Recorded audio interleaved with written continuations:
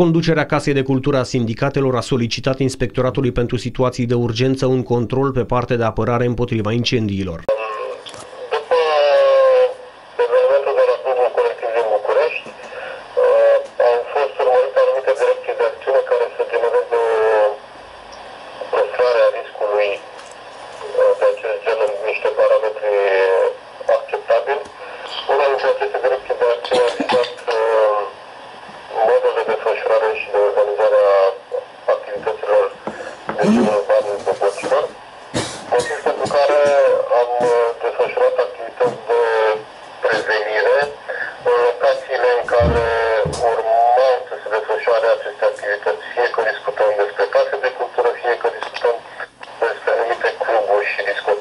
În condițiile în care au fost descoperite mai multe neconformități ce trebuie rezolvate, conducerea Casei de Cultură a decis suspendarea tuturor spectacolelor, inclusiv tradiționalele concursuri de mis.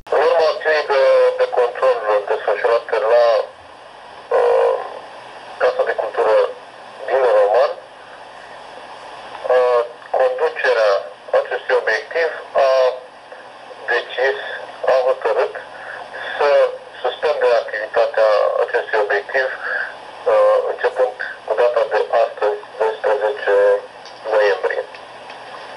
Urmând ca ulterior, când vor fi pus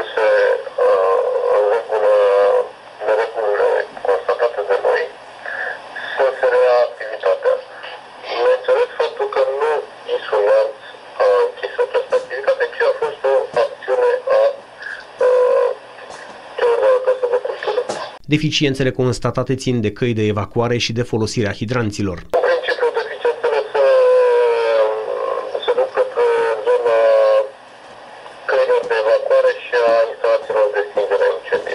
Inspectorii ISU Neamț vor reveni în control la data stabilită ca termen limită pentru înlăturarea neconformităților. La rândul ei, conducerea Casei de Cultură a comunicat în scris tuturor chiriașilor măsurile de conformare la planul de prevenire a incendiilor. În Casa de Cultură de la Roman funcționează trei televiziuni, un bar, un club de tip pub, o școală de coregrafie, un notariat public, o florărie și o casă de schimb valutar. În urma desfășurării ultimelor controle, ISU Neamț a identificat 23 de deficiențe, dintre care 3 au fost deja înlăturate. 18 agenți agenți economici au fost sancționați cu 13 avertismente și 5 amenzi în cuantum de 26.000 de lei. Cei găsiți în neregulă au fost amendați pentru nesolicitarea și neobținerea autorizației de securitate la incendiu, nerealizarea unui sistem operativ de observare și anunțare a incendiului, precum și de alertare în cazul producerii unui astfel de eveniment, neîntocmirea și afișarea planului de evacuare în caz de incendiu, neplanificarea și neexercitarea trimestrial de exerciții de alarmare-evacuare cu personalul propriu.